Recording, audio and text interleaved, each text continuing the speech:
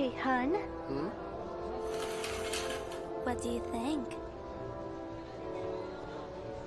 Do you like it? Oh. Don't let your kids watch it.